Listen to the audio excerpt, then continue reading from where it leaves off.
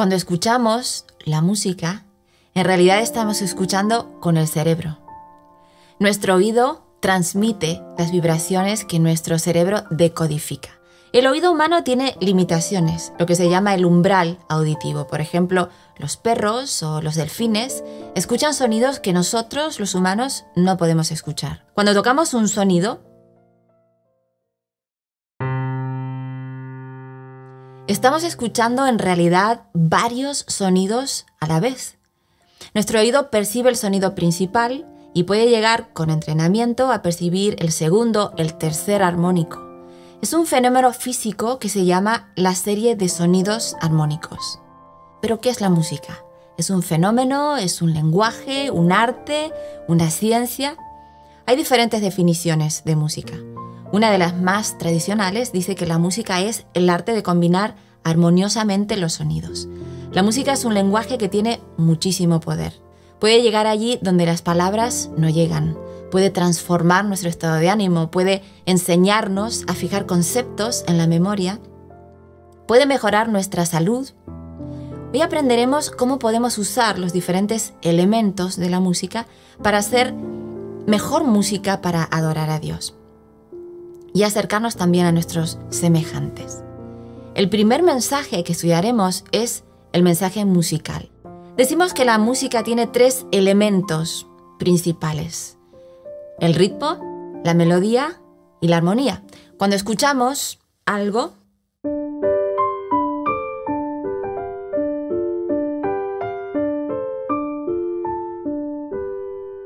estamos escuchando interactuar estos tres elementos.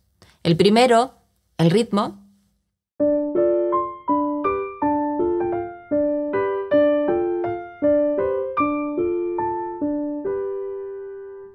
El ritmo es la ordenación de los sonidos en el tiempo y tiene que ver con las pulsaciones, tiene que ver con los acentos también.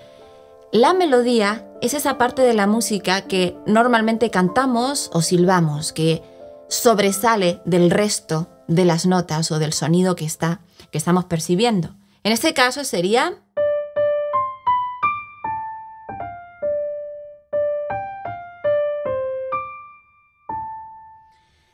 A esta melodía le acompañan otras notas, que es lo que llamamos la armonía o los acordes.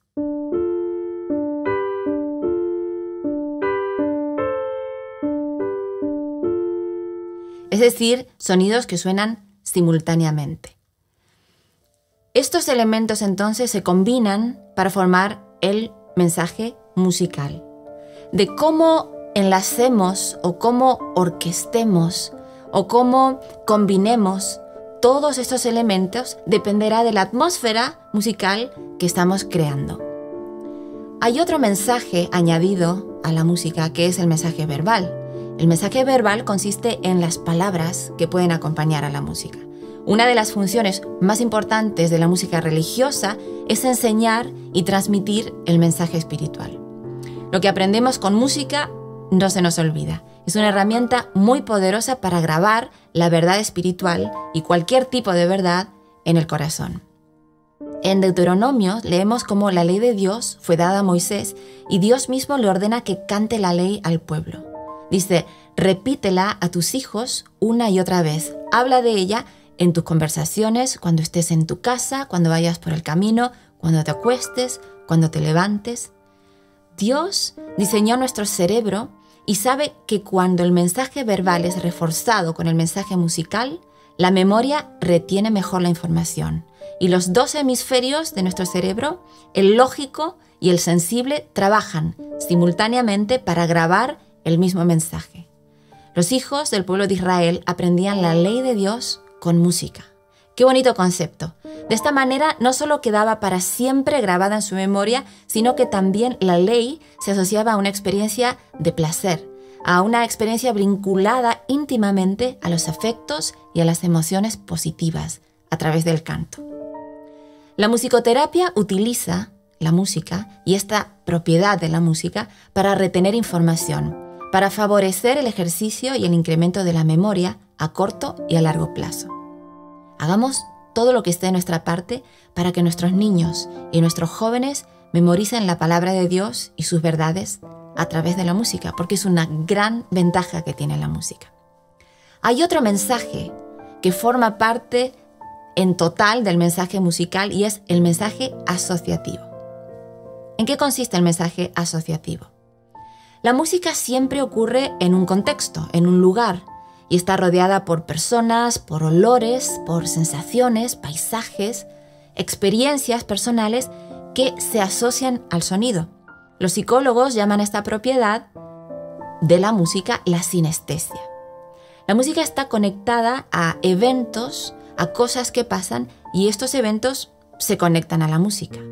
Es decir, si yo estoy en un verano con mi familia en la playa y estamos escuchando una canción, seguramente cuando vuelva a escuchar esa canción, aunque no esté en la playa con mi familia, evocaré o mi mente recordará esos eventos y estas personas, incluso los olores, y se recreará la misma situación que estaba presente cuando yo estaba escuchando esa música.